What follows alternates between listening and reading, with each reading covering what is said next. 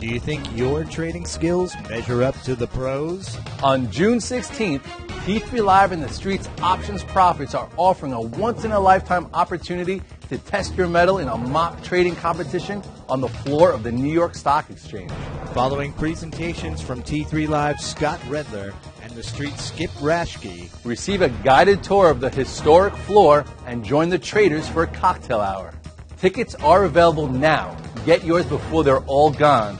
Call 888-998-3548 or visit t3live.com. All right, before we tell you where to put your money, let's tell you where definitely not to put your money. So let's hit on banks. Really dragged the markets down yesterday. If you look at the XLF down almost four, three and three quarters of a percent. You know, we have low unemployment, less spending, less loans, more defaults on mortgages and credit cards, manufacturing sector in the weeds. They're not going to be asking for loans. The yield is o- uh, under 3%, so banks are not making that much money on their loans. No good news there. Is the chart telling you the same kind of thing? Yeah, the chart's been telling us this in the banks for over a year. And we've tried to make excuses to buy the banks, but all they've been is little tiny bounces. Even when Deb was on on Tuesday, you know, the banks are up, and I'm like, I would only treat it as a bounce, looking for resistance, and then get out and get short. So if we take a quick look here, we got to go with Goldman Sachs.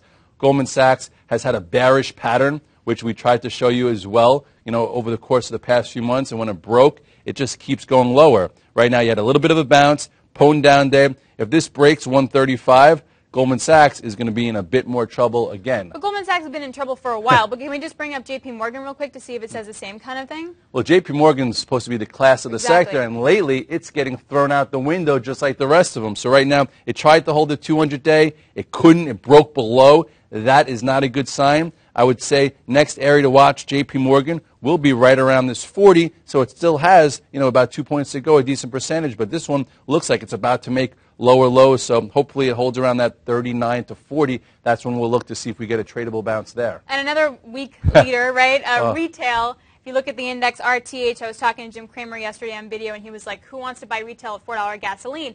We were talking about uh, this off camera too. Is that I'm arguing for some fundamental support for like a Macy's that's delivering solid, awesome numbers, and you're saying, "Who cares?" The chart still sucks. right, like uh, the market is forward looking, and retail was strong. And I remember a month ago when the market was showing some signs that we were breaking lower. You're like, oh, but retail is great. I'm like, well, we better watch this ascending channel in RTHs because if it breaks that uptrend, it could be in trouble. And since then, technically, you know, the market's showing that consumers are running out of money. So if you look at RTHs here, you know, this was that ascending channel to the upside that once it broke right here, this was your exit. So that's why you have these rules. And now it just made a lower low. This retail group looks poorly, and you want to talk about Macy's? You know, they might have a good fundamental story here, but here's your reversal top. Mm-hmm. Here now is a potent down day into support. This thing breaks below 28. You could see a gap fill down to 27 pretty quick. And then talking about sectors that are that uh, consumer spending money, consumer staple stocks are, are holding up relatively well. If we look at the XLP, it's holding up, but to me that's not a sign that the consumers are spending. It's a sign that investors are freaked out and they're turning to yield and a safe place to stash their cash. Yeah, so I would also watch this area because, again,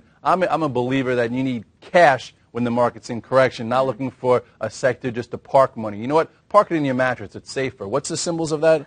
XLP. XLP. So let's not see. so much your mattress. As, as long as it's still in an uptrend, it's fine. But right now, look what you have a high, a lower high, pretty potent down day. This is already broken. You know, this ascending, you know, channel or uptrend. Here's your retest. This starts breaking this area. I don't think this group's going to be holding up very, you know, very well either, and it could get lower. So I would just be careful.